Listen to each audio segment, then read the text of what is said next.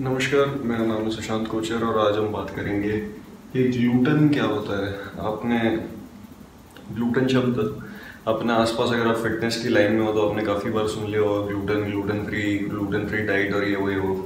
Gluten के बारे में आपने अभी तक सुन लिया हो ये शब्द आपके कानों में जा चुका हो अगर आप फिटनेस की लाइन में थोड़ा बहुत देखते रहते हो तो। ग्लूटन होता है गेहूँ जो हम खाते हैं, गेहूँ, उसके अंदर का प्रोटीन उसको ग्लूटन कहते हैं, ठीक है?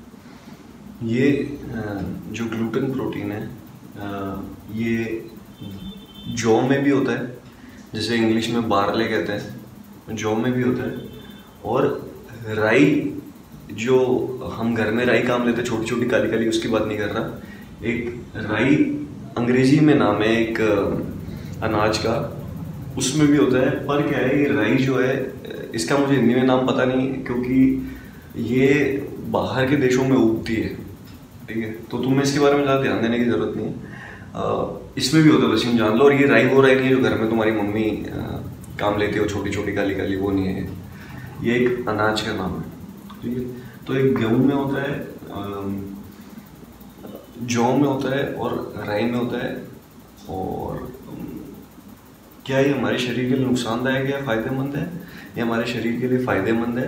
मतलब तुम बचपन से गेहूँ की रोटी खाते आए हो तो ये तुम्हारे लिए फ़ायदेमंद है। ये क्या है?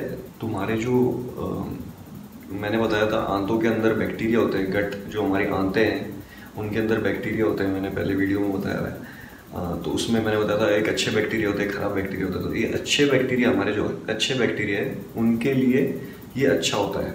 अच्छे बैक्टीरिया हम हैं शरीर में ज़्यादा हो तो उनके लिए अगर गेहूँ खाना या जौ खाना अच्छा है तो वो हमारे लिए अच्छा है।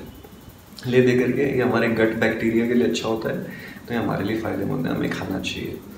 किसे नहीं खाना चाहिए, क्या नुकसानदायक हो सकता है? नहीं, आगे आने वाले वीडियोस में बात करेंगे। अभी आगे आने वाले वीडियोस में इसकी पूरी कहानी समझने की कोशिश करेंगे। अगर ये वीडियो पसंद आए लाइक कमेंट और शेयर कर सकते हो। चलिए वीडियो में नमस्कार।